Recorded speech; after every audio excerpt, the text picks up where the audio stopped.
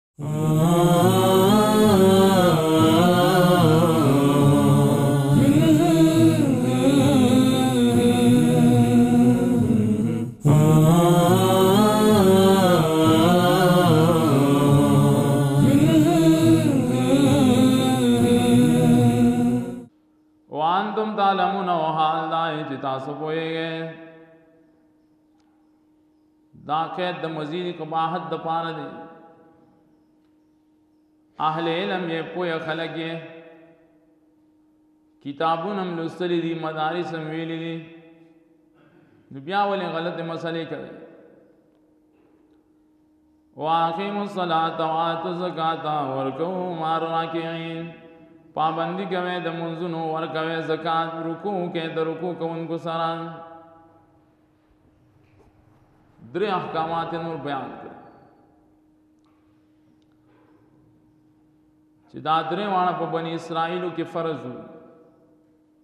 ادا یې د منځونو ورکړه د زکات یو ته عبادت بدنی وي بل د عبادت مالی وي ورکه مار راکی نه رکو کې سر رکو کوونکو نه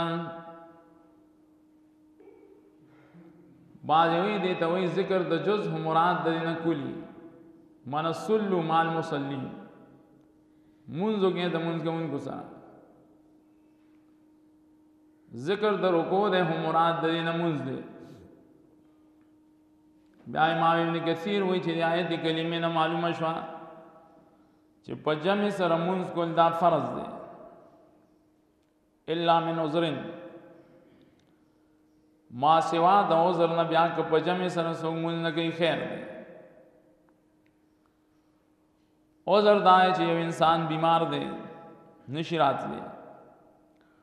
عذر دا چې یو داسې دشمنی ده چې ځان ته خطر ده نشی راتلی د دین ما سوا بل عذر مزر نشته اذان دی ووریدو دی دوانو حضورونو کې عذر نشته نو ته مسجد ته راځي کور کې ستا بیا مونږ نه کیږي ورکو مار راکین کې دا قید وروت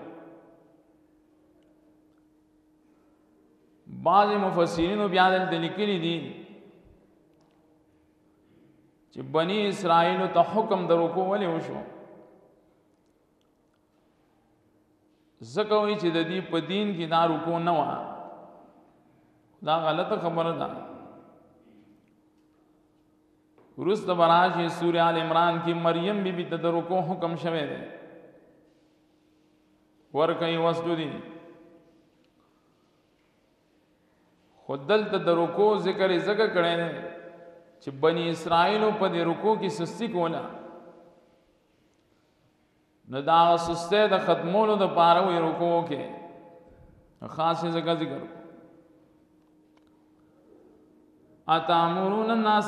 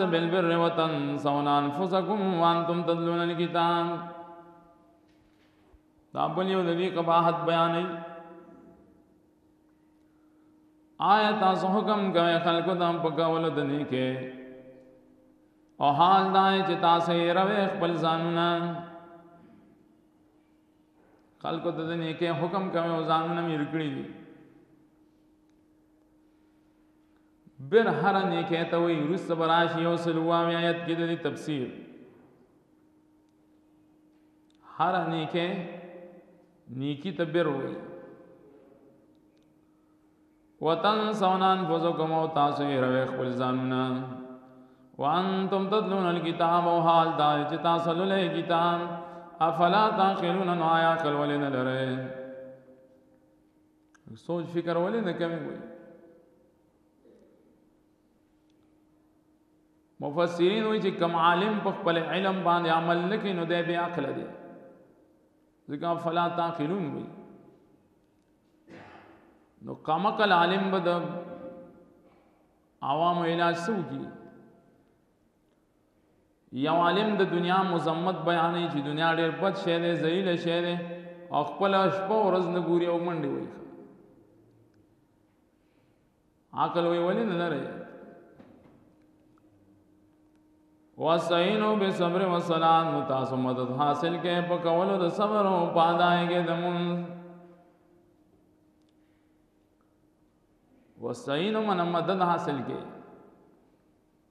دې کې دعا نه د مراد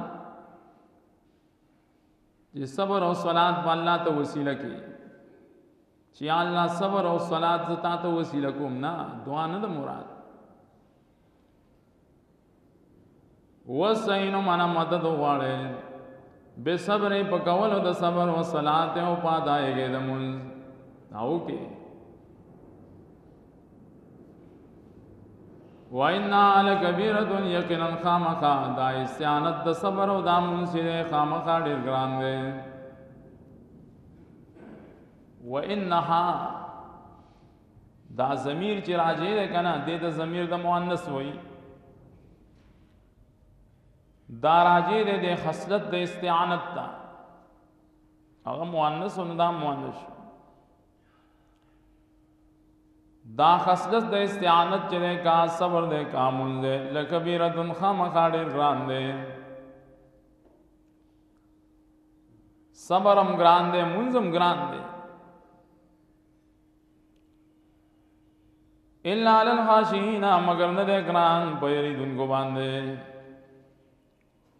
خاشین منا یریدونګي پاغي بیا ګران نه دی څوک چې د الله نه یریږي نو د صبر هم کولای شي او د بمونځ اهتمام هم کولای شي او باغې چې و انها کې ضمیر صرف د صلات تراجه دی نو صرف صلات ته ولې راځي دي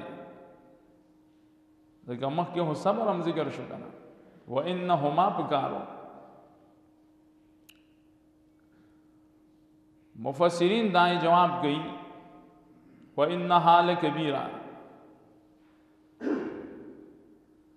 کم سړی چې صبر نشي کولای نه د منظم نشي کولای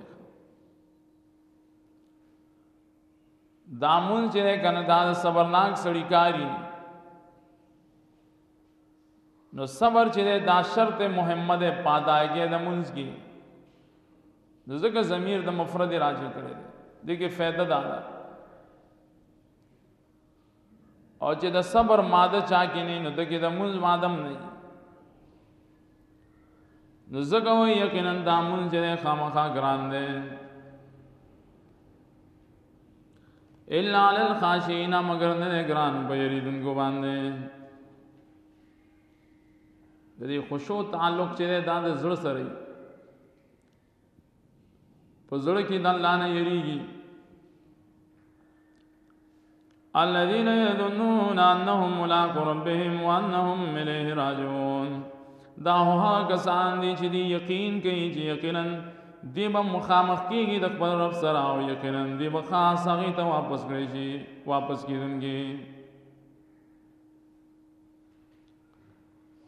یظنون کې دو معنی شوي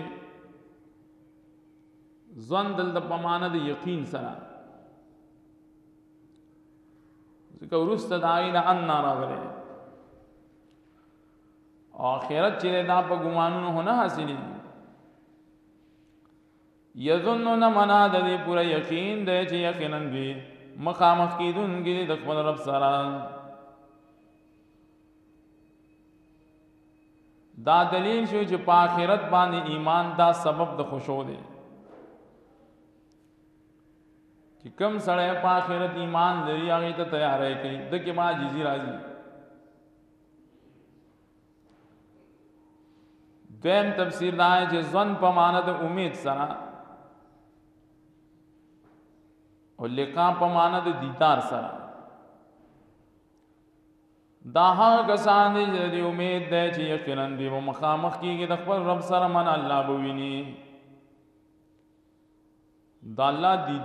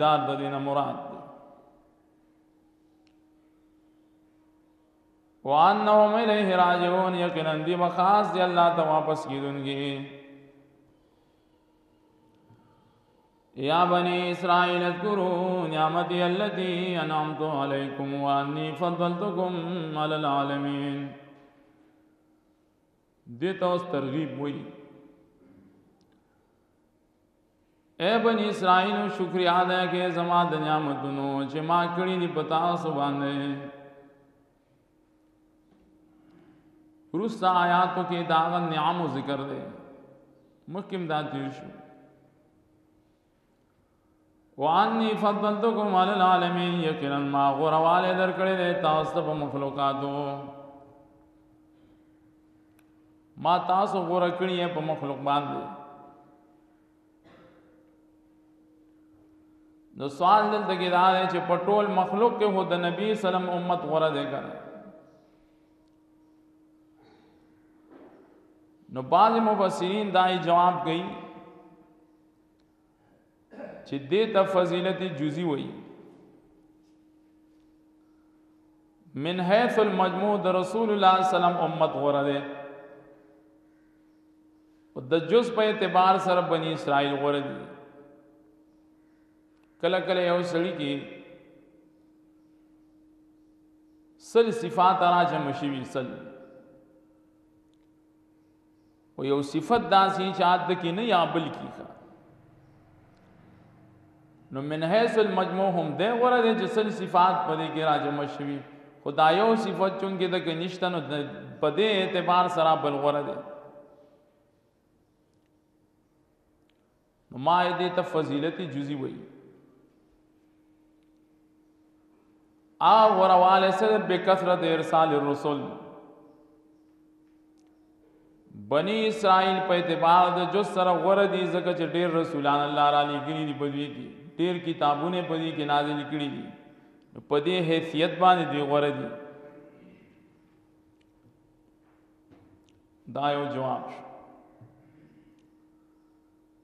بشمار رسولان الله دی کرا لګری دي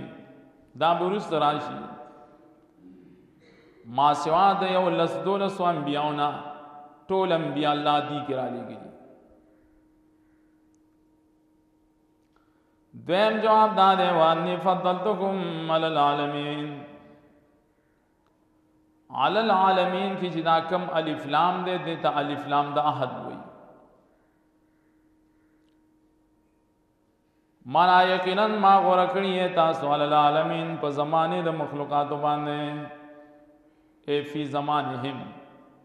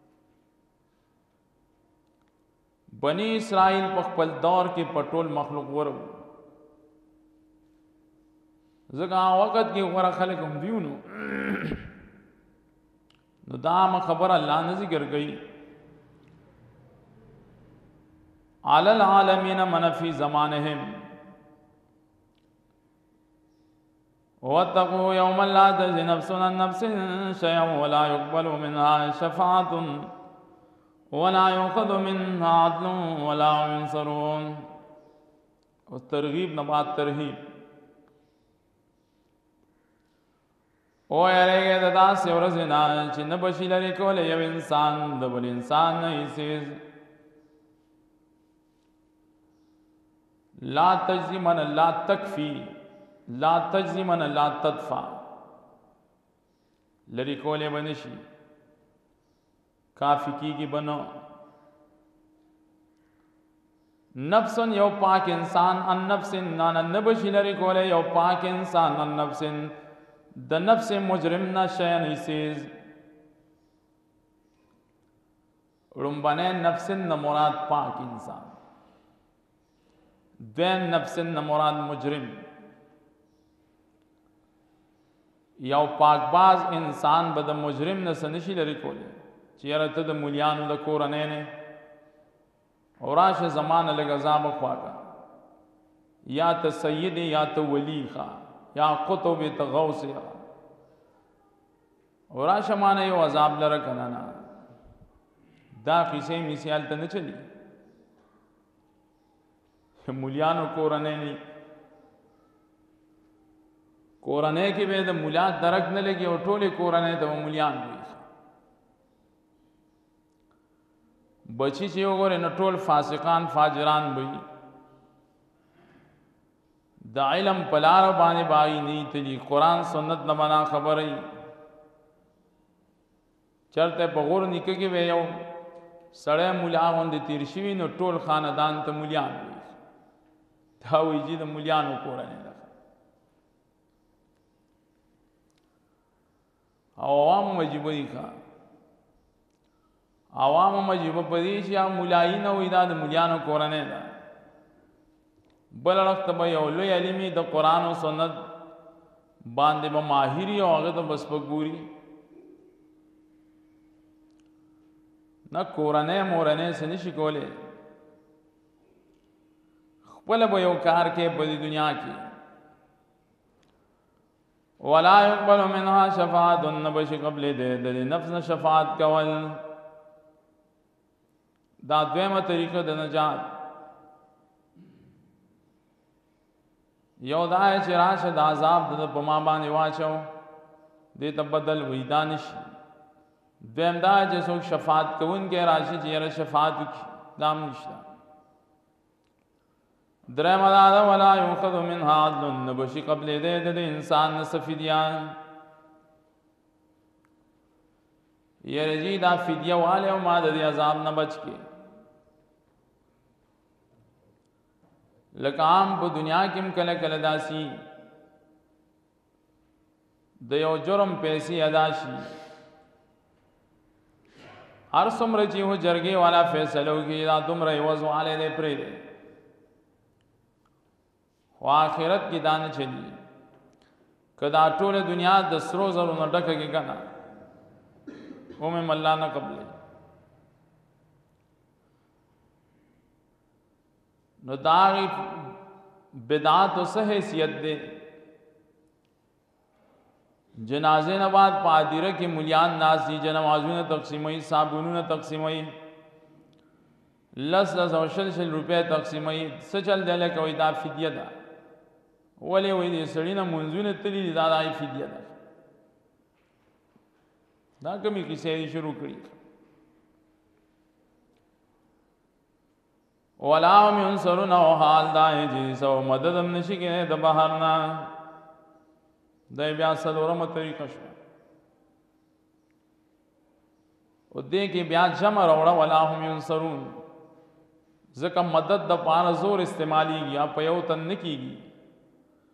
نو الله یې کې دا ټول دنیا زما مقابله کې روزي او تا د عذاب نه بچ کی نشي بچ کوله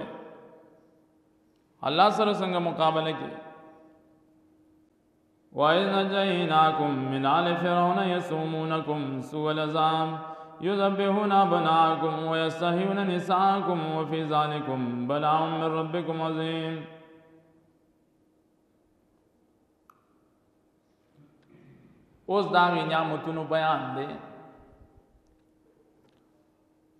بنی اسرائیل باندې الله ډېر نعمتونه کړی وکړه لوی نعمت دا چې د فرعون ظالم باچا نه دی له نجات ورکړو هغه بیان وره ار کله چې مونږ بچ کړه تاسو دا حال د فرعونانو نه آل فرعون کې قوم ته اشاره ده اتباع ته اشاره ده او دې ته وې قبط وې قبط قبطیان به ورته وي بنو اسرائیل هم مسافر دي هو د بل ځای نه راغلي وو دي هو د کنعان نه مصر ته راغلي وو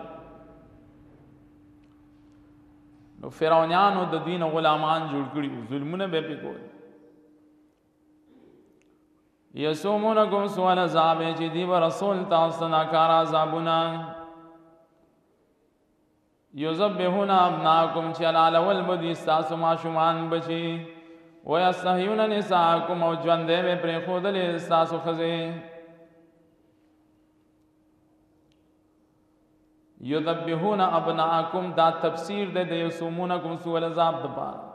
ځکه واو ذکر که څوک وایي چې دا ناکار عذابونه څه شي په دې تفسیر دی کنه ناکار عذاب دا چې دی والا لول ساسو زامن ذکر د ابناو دی خو د دې نه مراد واړه واړه ماشومان دي واړه ماشومان چې پیدا شو هغه وخت کې به حلال کړ دا ګوره صرف په خپل باندې ویل نه دي دا لوی ظلم وو ويستحيون نساءكم او ژوندې به پرې خودلې تاسو زنانا ځکه کثرت د زنانو دا سبب د فتنی بیا ماشومان چې وجنه او ماشومان پرې دي زنانه به ډېری شي او ناری نه به کم شي دې سره معاشره خراب شو کنه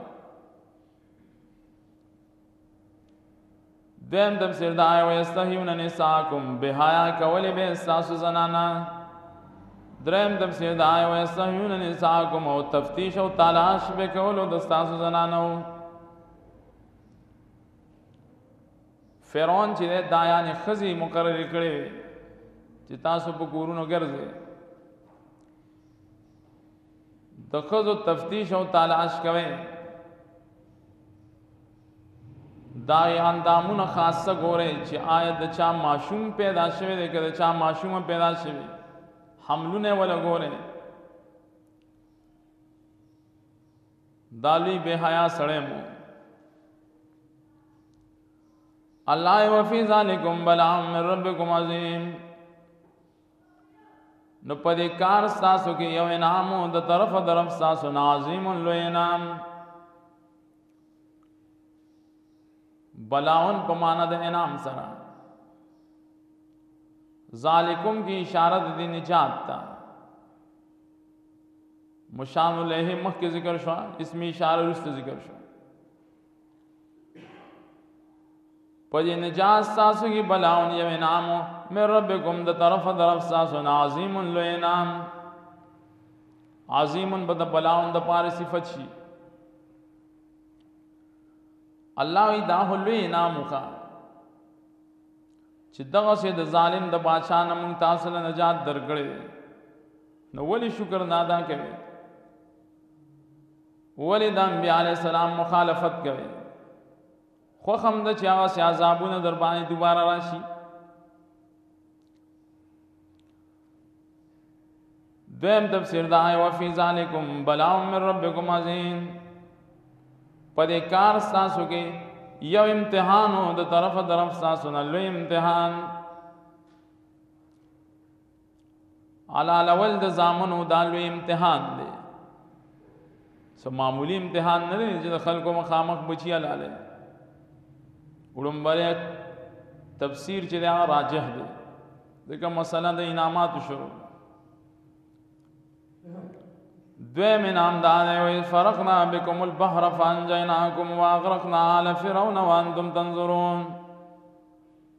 دویم انعام ووړه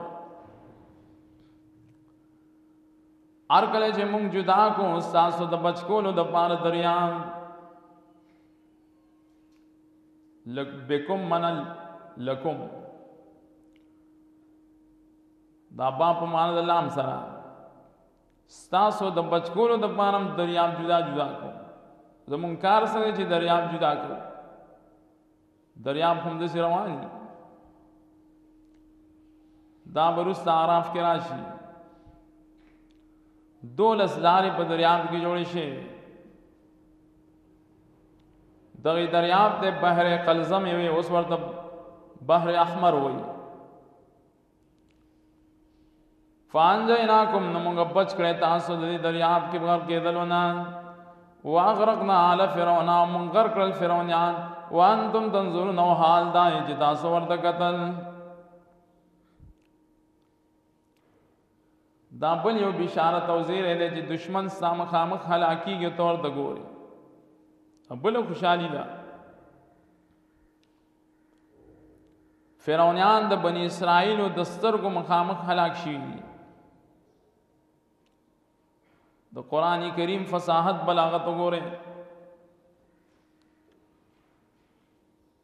اول کې وایز نه جناکم من آل فرعون ورسوي وایز فرقنا بكم البحر فانجيناكم هلته کې باب تفعیل ذکر کو نجینا او رس فانجینا کې باب افعال ذکر کو چې دې کې څه نقطه ده د باب تفعیل کې خاصیت دای دې کې معنا د استدراج په مزه مزه د فرعون نه چې الله تعالی دی بچ کړي دي نو په دمه دم هم بچ کړي دي او په دریاب نه چې الله تعالی دی له نجات ورکړي نو په یو ځای ورکړي دي که دلته کې دمه دمه ورکول نو دریاب پر راتللو نږدې و چې ټول هلاک شي او علالول د ماشومان په باب کې هټول نه هلاکېدل صرف ماشومان علالول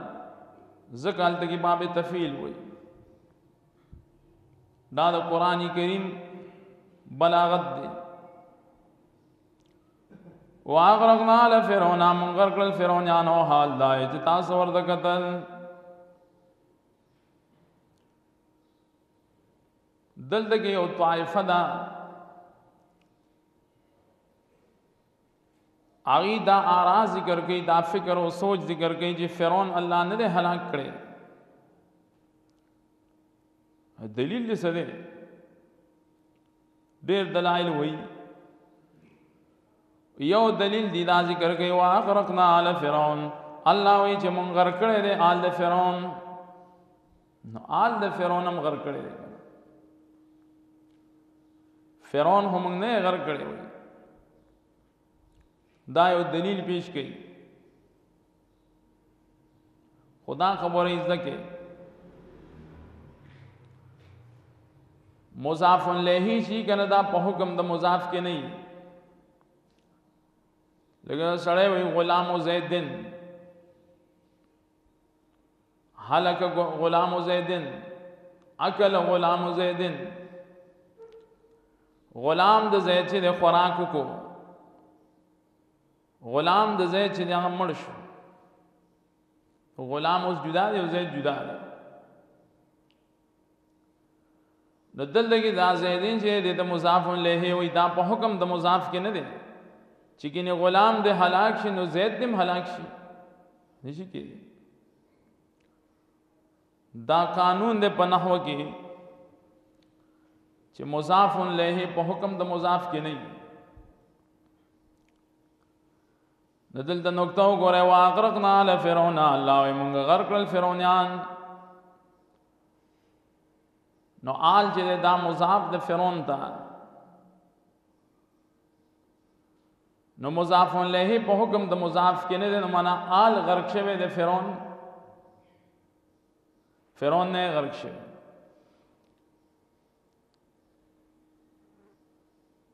د دې جواب موږ دا کوو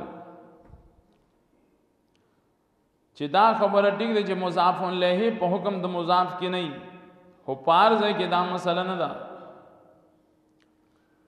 دا لازم نه ده چې د نحو یو قاعده ده د کانی کرخی او د صرف یو قاعده ده د کانی کرخی یا دی بدلیږي نه نه دا خو د انسانانو وضع کرده شوي اصول دي که نه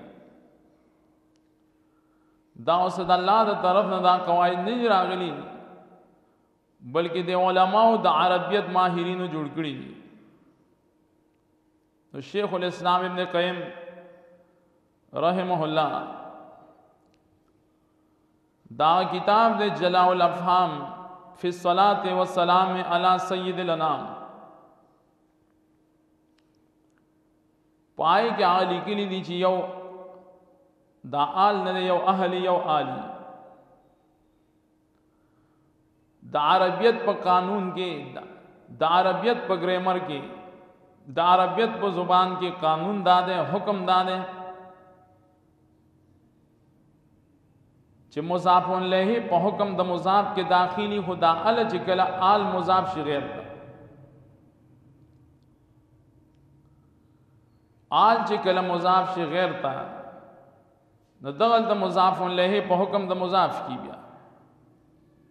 دلته باغ نورې قصې بیا نه کوي نو دلته کې آل مضاف د فرعون ته دا قاعده د فعال کې نو مضاف الیه په حکم د مضاف کې شو معنا سرنګ چې مضاف هلاک شوی جعل د نو دارنګ فرعون هم هلاک شوی دا لوی قاعده هغه لیکلې ده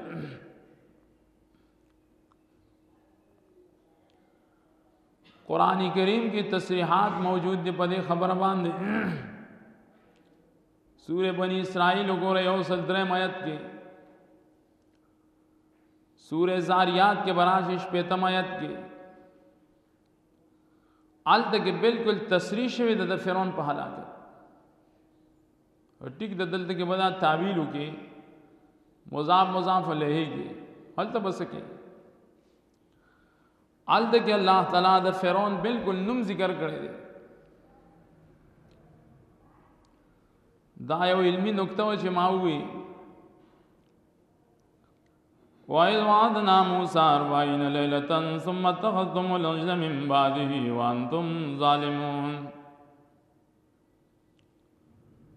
دا اصل کې اوس د دریم نعمت د پاره یو تمهید دی د دې تمهید وی ار کله چې موږ وعده کړو موسی علی السلام سره د سلوي خوشبو موسی علی السلام لړ د الله ملاقات د لار د سلوي خوشبو د پاره دلته ذکر د لیلتن د هورس په کې داخل دی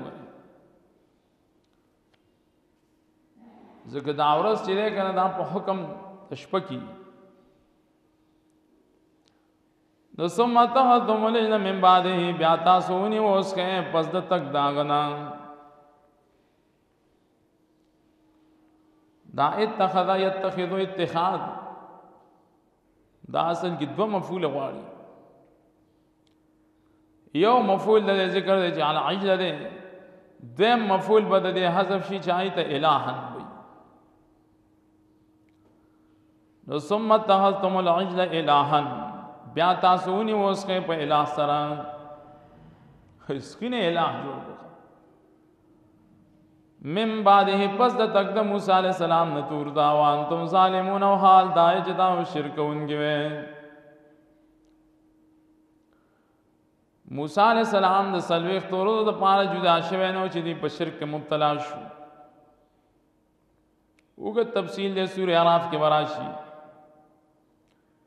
دې کې یو نیمچه مولا پیدا شو سامری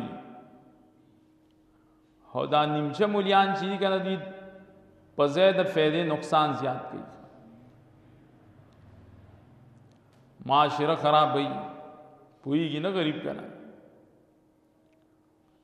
هغه پکې پیدا شو په شرک کې هغه مبتلا کړ وانتم ظالمون او حال دا چې تاسو شرک کوونکي وئ ظلم دلته معنی شرک ځکه دی کې عقیده د حلول موجود و او دی دا عقیده د مصر والو نه زده کړې و حلول معنا دا ده چې ارس کې الله تعالی دخول کړي د دې سخی کې ملان نه نوته دي نعوذ بالله د دې دا عقیده وا کوم ډېر مسلمانانو عقیده ده ثم عفونا من بعد عنكم من بعد ذلك لعلكم تشكرون دې ته څنګه نعمت وي بیا مونږه معافي وکړه تاسو ته پس د کارنا لعلکم تشکرون د دې لپاره چې تاسو شکر ادا کړئ په منلو د توحید دا څومره عظیم انعام الله په تاسو باندې کړی دی چې شرک یې درته معاف کړی دی لویه ګناه یې درته معاف کړې ده من بعد ذالک من پس د دې کار نه لعلکم تشکرون دې د پاره چې دا شکر ادا کړئ شکر دا دی چې د الله یوازې وګڼئ توحید ومنئ نو الله تعالی دې هسې به سماپ کړل سو نه نه هسې به سن نه معاف کړی تا بروس تراشی سورہ آل عمران کی سورہ عراف کې یو سل یو کم پنځو سیات کی د دی الفاظ د توبې ذکر شوی دی دی توبه یې سید الله تا نو داغی الفاظ د توبې د وجن الله دې دی توبه قبول کړی دا آسی بیس اللہ سوک نه معاف کړي او بیا خاص ګرد سه یو ګناه چا قابل د بخشش نه کبیره ګناه لوی ګناه دا بغیر د توبې نه معاف کی وایذا تینا موسی الكتاب والفرقان لعلکم تهتدون بل یو انعام ما مخ کې وی چې دې کې انعامات ذکر کوي په بنی اسرائیل ار کله چې موږ ورکړې او موسی علی السلام ته تورات والفرقان او فرقان لعلکم تهتدون دې د پاره چې تاسو په سم لار روان شئ دا یو عظیم احسان د الله را یاد کې چې تاسو د هدایت د پاره کتاب درکړې دی دا دلیل شو په دې خبره باندې چې د هدایت د پاره په آسماني کتاب د ضرورت هدایت په ماویلو تاویلو نه نه حاصلېږي آسماني کتاب لعلکم تهتدون کتاب نه مراد خدل د سره تورات فرقان نه بس مراد دي نو بعضې وایي دا فرقان چې دی که نه دا اصل کې د تورات صفت دی او دې ته بیا اصل کې عطف تفسیر وایي دا تورات څه شی دی الفرقان فرقان دی تورات کې بل صفت دا و چې د فرق را وستو پمن د حق او باطل کې چې دا داری او آسماني کتاب مسله ده دا یا د فرقان نه مراد د معجزات د موسی علی السلام دي نو بیا د تعاطف د تغایر وایي کتاب جدا شو فرقان جدا شو یا د فرقان نه مراد صحیفه د موسی علی السلام دی هر تعبیر چې دکې دا د مفسرین او آرا دي وَإِذْ قَالَ مُوسَى لِقَوْمِهِ يَا قَوْمِ إِنَّكُمْ ظَلَمْتُمْ أَنفُسَكُمْ بِاتِّخَاذِكُمُ الْعِجْلَ بل یو احسان را یاد کی تاسو دومره عظیم ظلم کې مبتلا وې الله تعالی تاسو وی چې د ظلم د بخشش د پاره تاسو له سپ کار دي چې ځانونه قتل کړي تاسو به توبه قبول شي الله تعالی فتاب علیکم د وجن له بیا معافیو کړ چې خیر دې اوس ما وجنه څومره احسان ار کله چې ویلی موسی علی السلام خپل قوم ته قومه یقینا تاسو ظلم کړی دی په خپل ځانونو به اتخاذ کوم لجدا پنیول تاسو لرا لجدا اسکی لرا اے بسبب اتخاذ کوم لجدا بشي ظلم دا دی چې تاسو سپینه ګوره الٰه جوړ کړی دی به اتخاذکم العجل الٰهن مخکې دا ما بیان وکړو چې دا دوه مفعول غواړي ار کله چې مونږ ظلم کړی نو سو کو نو فتو ویلا بارکم تاسو توبه او باز خپل رب ته باره هغه ذات ته وایي چا جدا جدا شکلونو سره انسانان پیدا کړي دي دې ته باره وایي دې دنیا کې وګرځي بشمار انسانان دي لیکن هم شکل انسانان به نه ویني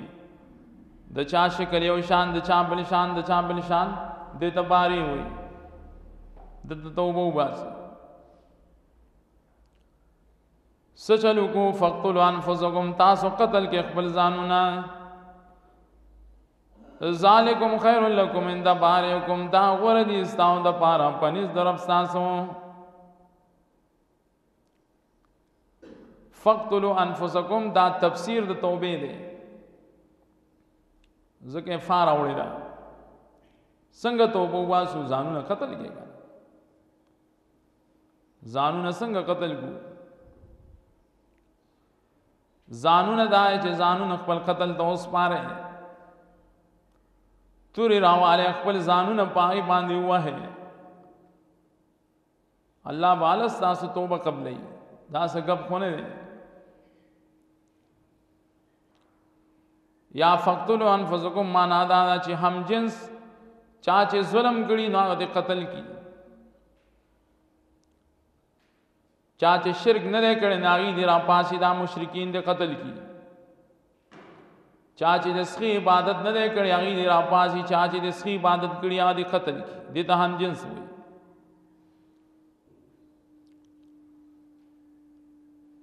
نو توبه اصل کې پزړه سره په جبه سره نو دا قتل دا داغي د پارم متمم مکمل شو د دې معنا دا نه چې دا قتل بس دا دی توبه ونه توبه په زړه او په ژبه سره ویستې ده خو دا د هغې دپاره یو قسم سبب د قبولیت شو څه پته لګي چې دې توبه قبوله شوې ده که نه ده ځان قتل کې لکه زمونږ امت کې وګوره زمونږ دین کې یو سړی دی هغه زناکار دی شادي شوده دی بدکاری کړی دا حکم بدل سي وجنه خدا ځان له وجد خود د پاره توبه نه ده کنه دیو پزړ سره توبه واسي یا الله ما غلط کار کړی دی نو دا وجل د د قبولیت د توبې یو سړی د قتل کړي دی د په قصاص کې راوستل شو قاضي راوستو د د قتل بدلالي نو یوازې د د وجل دا هو توبه نه ده دا هو اصل کې قصاص دی دیو پزړه سره په خله سره توبه واسي زمونږ په دین کې دغه مثال نو فتاب علیکم الله تعالی سانتیا را مست پتا سو باندې ما مخ کې ویلو چې تا با په صفت د الله تعالی کې په معنا د تخفیف سره په معنا د مهربانه سره دوی شروع شو چې یو بلې وجه لیکا ار کله چې شروع شو نو فتاب علیکم الله تعالی سانتیا را وسب تاسو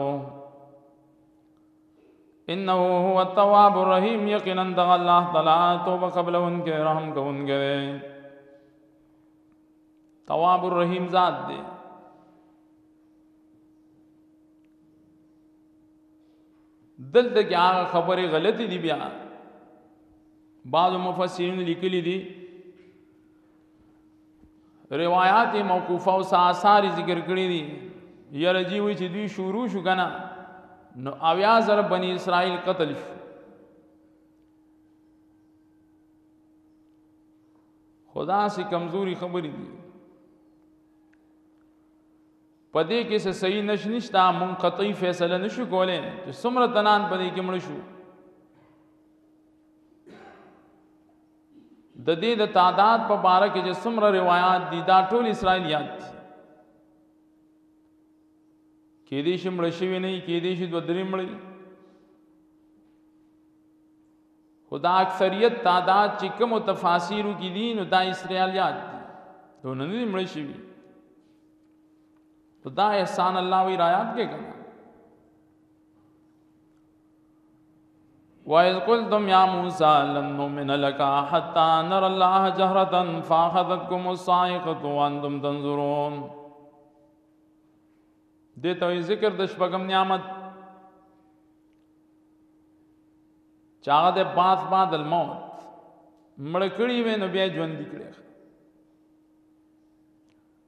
هر کله چې تاسو ویلې وې موسی هچره مونږه باور نه کوو سا په خبره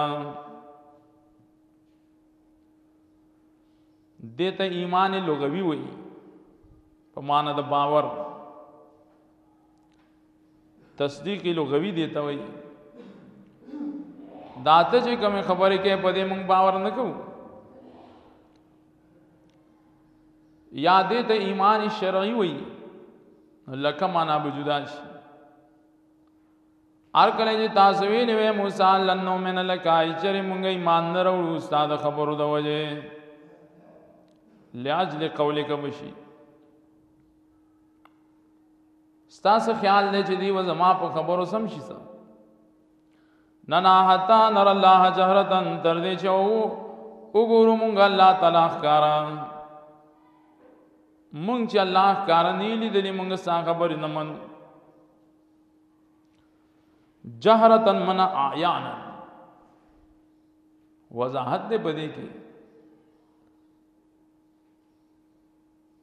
رویت نه مراد دلته رویت بصری دی غوړي ښکارا په دې خلو سترګو وینو سوال دلته کې دا دی چې دا خو سوال وکړه دا سه سوال هم موسی علی السلام هم کړو یا الله ما تخپل ځانو خیر انظر الیک نو که بنی اسرائیلو د څه سوال کړی دی نو الله عذاب ولې ورکړی دلته مفسرین جواب کوي انهم لم يسالوا سوالا استفسارا بل سالوا طعنا وعنادا دی سوال د ځان د پوهې لپاره نه کړی دی چې دا سوال کړي نو دا د عناد د وجې کړي دي د توان او د حسد د وجې کړي دي او موسی علی السلام چې سوال کړي نو هغه د ځان د پوی د پاره کړي دي کله کله سوال دسی اعتراضی غرضی شرمولی غرضی ځان خودنه غرضی سماعت غرضی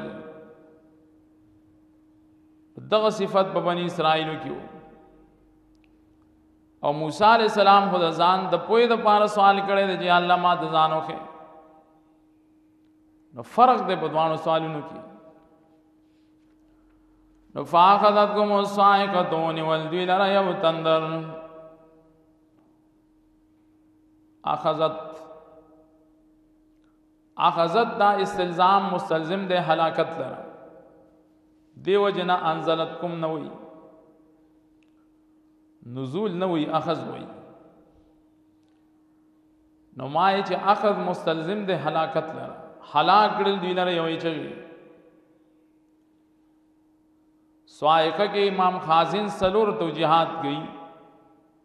په معنا د مرګ سره هم هغه کړی دا اونې ول دوی لره مرګ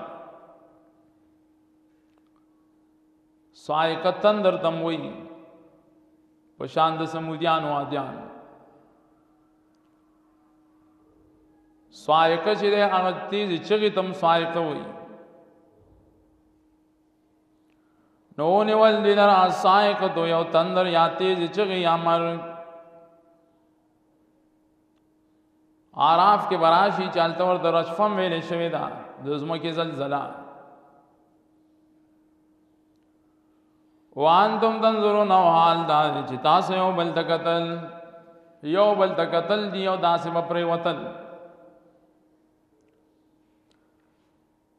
یا وانتم تنظرون او حال دا چې تاسو ورته قتل دي سایخې د چې دا را روانه وه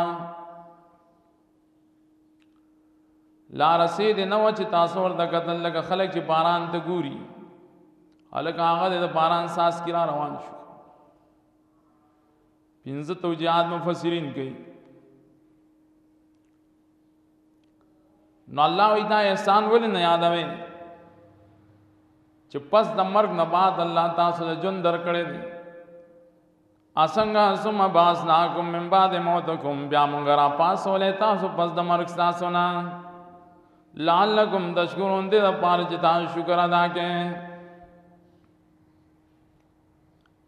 مړ شوی وي نو ژوندي هم کړی موت نه مراد دلته موت حقیقي دی او کوم مفسرین چې دلته د موت نه معنا بېهوشۍ سره کوي هر بېهوش شو فاخذتکم الصاعقه وی ونیول دوی را بیوشه نو دا اصل کې غلط تفسیر دی دا خلاف دی د تفسیر د سلف صالحین نه ځکه سورې الاف کې ور سره لفظ صریحه د هلاکت ذکر دی دا هلاک شو نو موت حقیقی دی ګوره مړ شوی وو معنا د بیو شی باندې کې ځکه سلف صالحین او دلته معنا د بیو شی نه د کړي مخکې ما وی چې قران کریم به د سلف صالحین په نهج باندې بیان ځان نه با عقلیات نه جنگي سوچ فکر بنه جنگي سلف صالحینو دلته د معنا د بیوشه نه ده کړې لعلکم تشکرون دې د پاج دا شکر ادا کړئ دا سرنګ الله تعالی دی ژوند کړل نو په دعا د موسی علی السلام دلته کې هغه دعا نه د ذکر هو سوره اعراف کې وراشي اوصل 55 آیات کې الته کې موسی علیہ السلام دعا کړی دا 155 آیات سورہ اعراف کې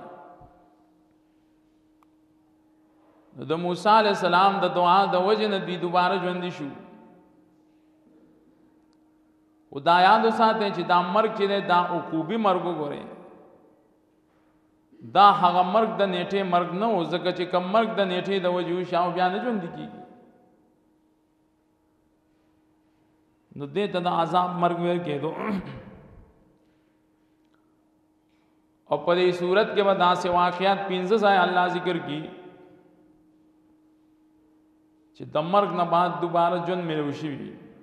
خاص دې صورت کې اول خدا مقام دویم مقام براشی دری او آیت کې تریتر آیت کې سلورم مقام براشی دو سو دری سر خیات کې بل مقام براشی دو سو یو کم شپیتم آیت کې حالت دوزیر علیہ السلام واقع بیان ہے پنځم براشي 250 آیت کې مارغانو د ابراهيم عليه السلام بیان د پنځه واقعات دی په دې صورت کې د نمونه د پاره چې د مرګ نه بعد دوباره ژوند شوه دی لعلکم تشکرون دې د پاره چې تاسو شکر ادا کړئ لفظ د شکر شامل دی ټول طاعات لره لباب کې د مشکی دا بیان کړی دی شکر یوازې د زبان شکر نه دی بلکې ټول طاعتونه بد الله ادا کوي